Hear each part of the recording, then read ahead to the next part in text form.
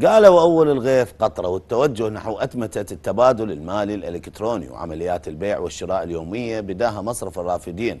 من البنزين خانات هناك بكل محطة وقود راح يحطون صراف آلي. يعني كل شخص عنده بطاقة إلكترونية مشحونة برصيد يسدد قيمة البنزين إلكترونيا. زين وبخشيش البوزرش الإجبار شلون؟ وين راح يروح؟ راح ياخذه؟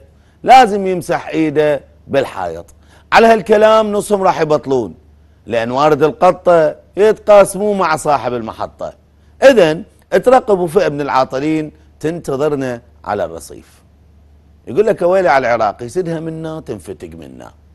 بس ما قالوا إن هذا الصراف الآلي نفسه مال صفقة بوابة عشتار مال علي غلام اللي يسموها فضيحة القرن لو غيرها.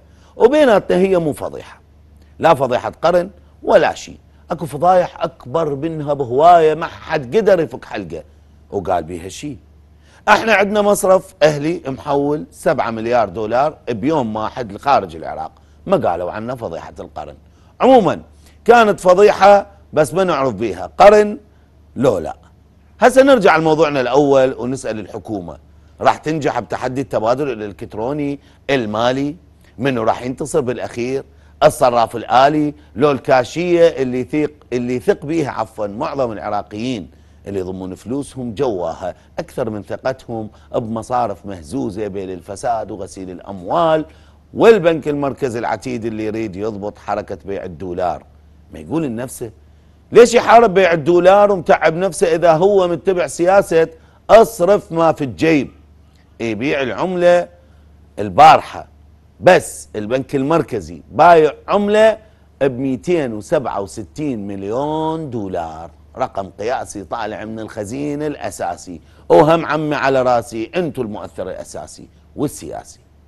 لعد شنو قامت القيامة ولم تقعد سنة 2015 وتم تحديد المباع بنافذة بيع العملة ب 75 مليون دولار؟ وهم كانوا الجماعة مراضين.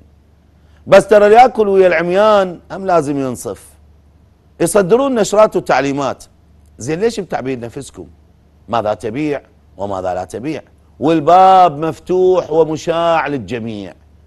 بس ترى حتى تنانير النساء بالصيف ليست كالشتاء. والنفط هسه غالي. إيش ما أدريكم التالي؟ يرخص هذا الغالي. ضموا شيء لآخرتكم. عموما اليوم نتحدث بأسف على أمر متوقع هو عدم اتفاق البرلمان على إقرار الموازنة. اللي طالع انتظارها ستة أشهر والمفروض من يوم 31 12 هي مقررة وإن سادت البرلمان خطوة إيجابية باتجاه البصرة؟ يراها العراقيون حقا مستحقا وهي مطالبة 100 نائب تخصيص 400 مليار دينار لمشروع تحلية المياه ومحطة كهرباء. وترى مو هواية على البصرة الحبيبة كنا ويا هذا المشروع مشروع تحلية مياه البصرة. واللي ضايج من الموضوع يروح للبصرة ويشوف العالم شلون هناك تتعامل بموضوع المي. بس لو طلعوها للدرة ويقرون الموازنة كان ارتاحينا